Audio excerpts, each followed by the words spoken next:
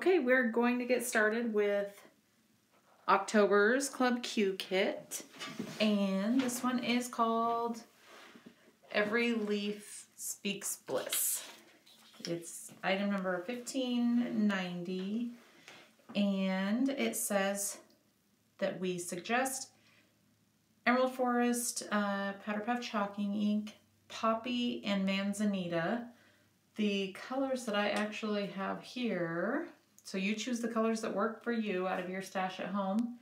But I have uh, Manzanita, I have Tree Trunk, I have Mango, I have Peppermint Stick, Dandelion, and Weeping Willow. So there's lots of colors that will match this layout. You choose the ones that you like the best.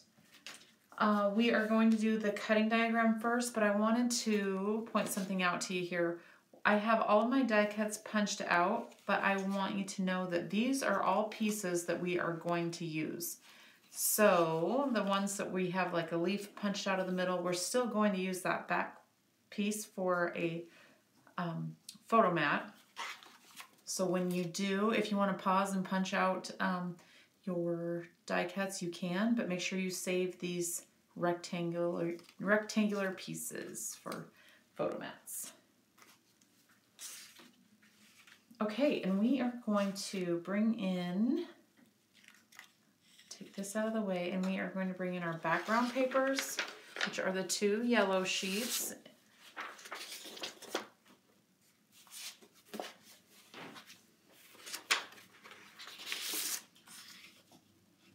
And you can turn this any way you would like. Most of it is covered up. And one trick that I usually like to do is if you're covering up almost all of that paper, I like to actually cut out the center here so that you can use that big chunk for something else. So if you cut like a 10 by 10 square out of here, you will still have um, space to put your brown on top of it, but then you have this big chunk of paper that you could use for something else if you want to, because it's just hidden. And you'll never see the back of it, so that's what I do. Here it is. Switch these out. And you don't necessarily have to cut out that centerpiece. It just gives you extra paper to use for something else too, if you would like.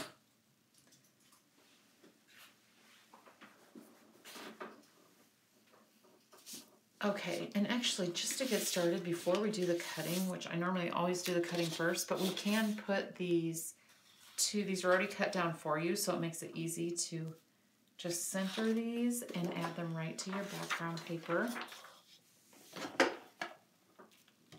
You can also, if you wanted to lighten it up, you can also use this side and do a lighter brown color too. I personally like the dark, so I'm gonna use that. And this just gets centered. You can put the wood grain going either way. That's not going to make any difference. Whatever you prefer. And you center that. We'll do this one.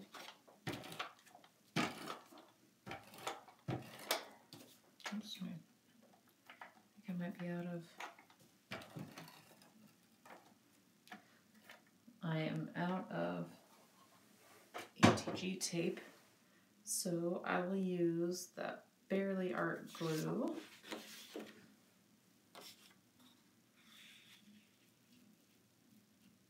I have a little bit on here, enough to make it stick, I think.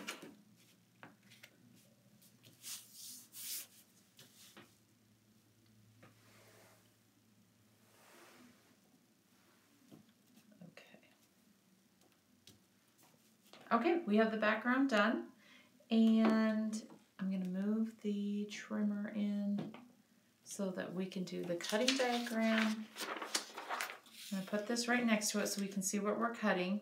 I am going to cut out the four by, actually I'm going to cut at the six and a half inch line here first. So let's grab our dotted green paper put it in at six and a half and trim all the way across. Once you have that six and a half, we turn it to four and a half and trim.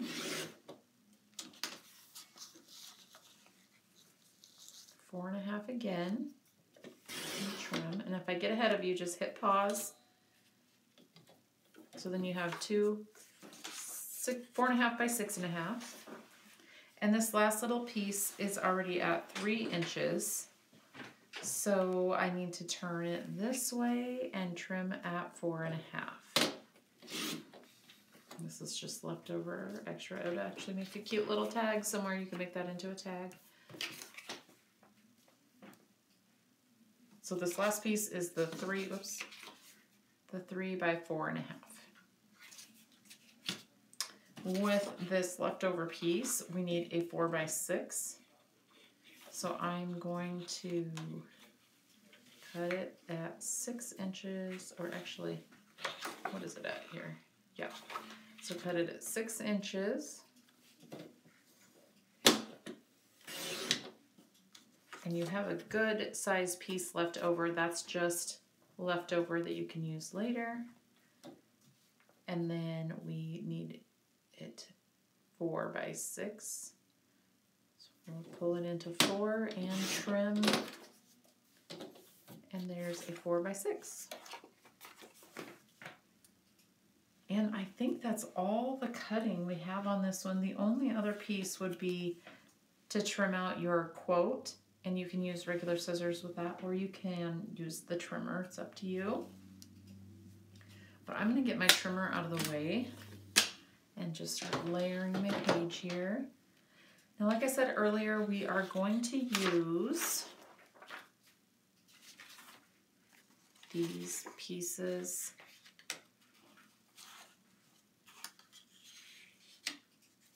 I think these two are the same. Let's see. So the two that have, the two biggest ones that have the leaves punched out of the center one goes here. One goes here. And the other one that's just slightly smaller will go here. And then this smaller piece goes up here. And then we'll come back through and add our green photo mats to the top. And as we go, feel free to chalk up edges of things to whatever color you would like. And your 4 by 6 goes here. Well, you know what? I may have cut that a little short. But you know what I'm going to do? Let's see. I think I did. So what I'm to do is I am going to cut off a quarter of an inch from this one because it's a little bit too big.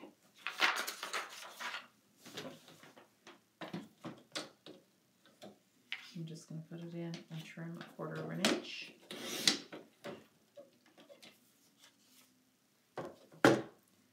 And then this fits right in the middle of it.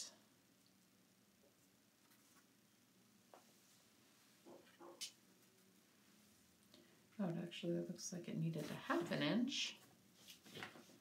Sorry about this, I trimmed it the wrong size, but we're making it work here. So another quarter of an inch off the end.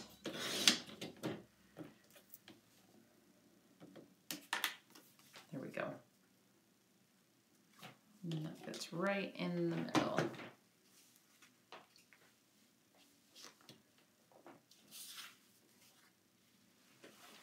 So when you do glue these on, just make sure you do around the edge of this back when you put it down because the glue will go through right here and stick where you don't want it to stick. So just around the outside edges. My glue ran out, so I'm just going to go ahead and lay all this right where it needs to be. And you can move these around however it works for you. If you need to move this down so it's not covering up so much of the larger picture, it's totally up to you. You do what works for you and your pictures. And from here, I am going to chalk up a few I'm going to chalk up a few leaves here. And I love adding a little red to this yellow. It makes it a little bit bright and kind of orangish. That is the peppermint stick that I added to it, the red. Here is the mango Mai Tai. I'm going to add a little bit of that to it. A little orange. Uh, you chop them up as you go, however you see fit. If you don't have your photos on your layout yet, you want to make sure, like this is going to go down like this, but you want to make sure you only put the glue on this little side of your quote so that when you get a picture on there, it's not glued down. You want to be able to put your picture in there. And then from there, I just look at the picture here and I just start layering the leaves, finding ones that match.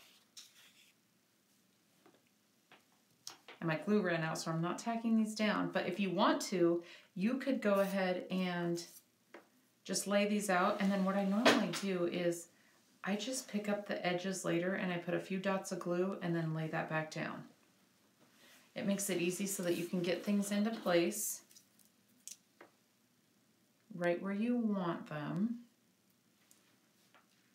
And then you can glue them down later so they're not sticking somewhere that you don't want. And again, you move these around so that it works with your photos. I'm just kind of going off of what is in the picture here. Once you get these placed, you can lift up the edges and put a little glue underneath there. Uh, right up here, we need there's two of these that look exactly the same. One of them goes up on this corner and a large red button and two smaller yellow buttons. And again, if you don't have your photos in there yet, you may not want to glue these all the way down so that you can go so that you can fit your photos in later. Okay, so page two is done. Super simple, but I love this page because it looks nice and layered and lots of colors and um, the stamps on this, the stamped look makes it look like it has even more layers. Okay, so we are going to build page one now. You have a little half circle. Tuck that in there.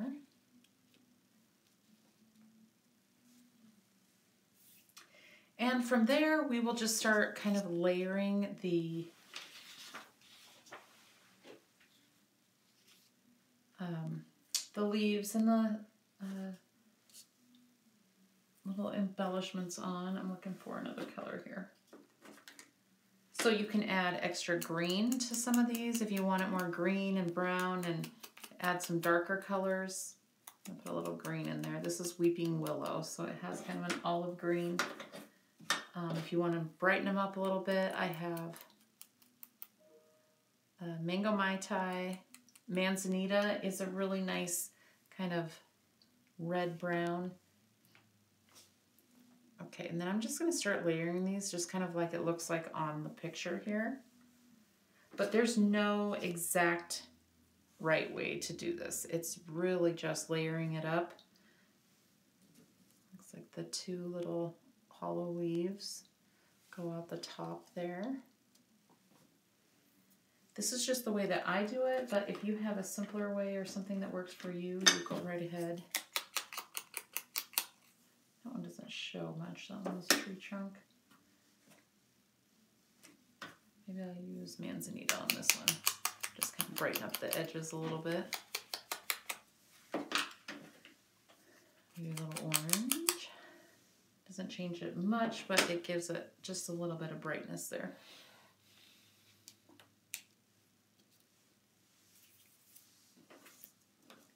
And once this goes into your page protector, these, as long as you have a few spots of glue on each of these, these are not gonna come off of the page. So I just lift up little bits of the corners and the ends of the leaves and I add a little dot of the Bearly Art glue.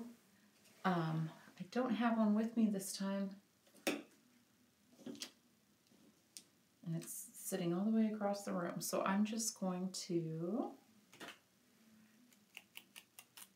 layer these up and I'll glue them down later.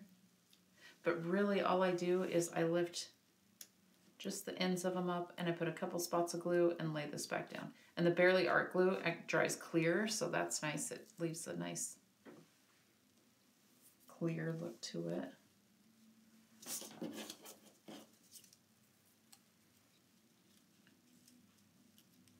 But this is also one reason I don't glue until the end because a lot of these, and depending on how you how much you want to go over your picture there, um, but a lot of these need to be moved around just a little bit just to fit on your page. Or if you want to rearrange.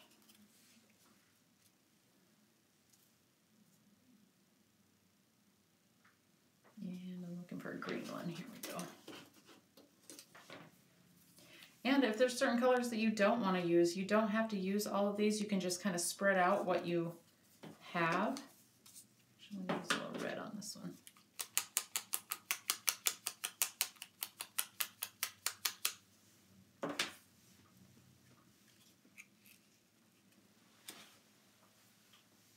So if this is too much, just go ahead and take a few off of there because you have plenty to make it to make it all work.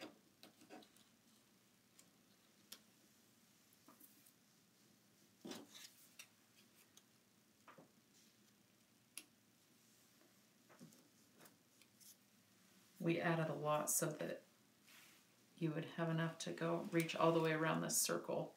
But any way that you would like to spread it out, I just kind of make sure that one is covering the end of the circle, the open end of the circle. And then once I have those on there,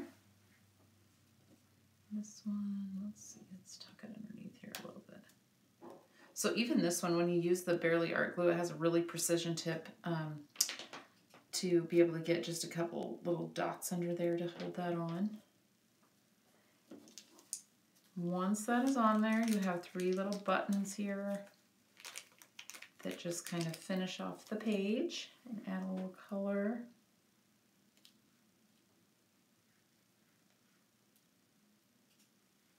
And you're done.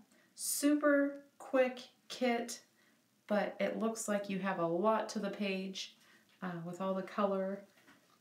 I hope you enjoyed Club Q this month, and we will see you next time.